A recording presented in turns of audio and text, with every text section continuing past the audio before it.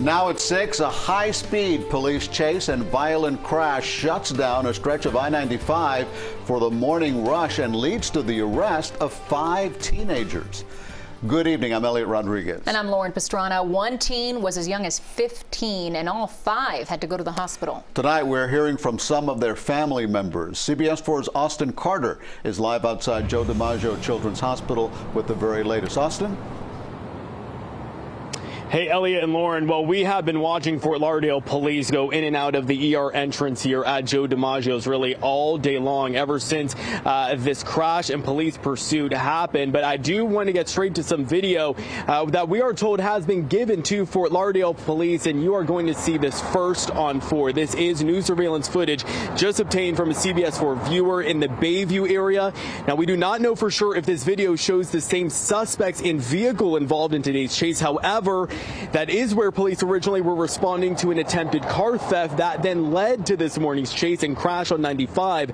The video shows someone jumping a wall and a vehicle that's very similar to the SUV involved in the chase. Family members of the five young people taken into custody spoke with us about what happened today. It was devastating. It hurt me so bad.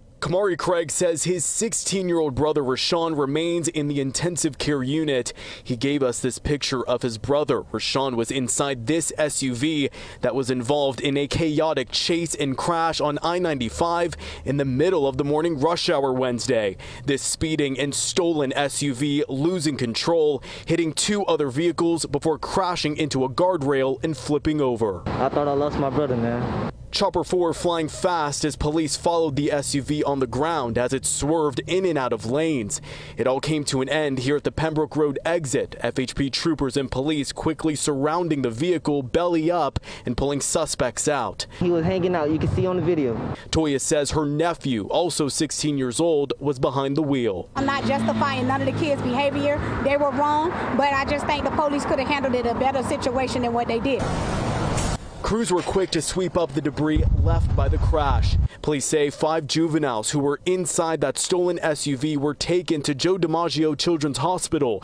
Toya says she is still waiting for answers about her nephew. We don't even know the condition yet. This all began just before 7 this morning when Fort Lauderdale police got a call about multiple people trying to steal a car near East Oakland Park Boulevard and Bayview Drive. Police tried to stop the vehicle, but the driver kept going. Police say the SUV then hit a bicyclist at an intersection near Broward Boulevard and I-95.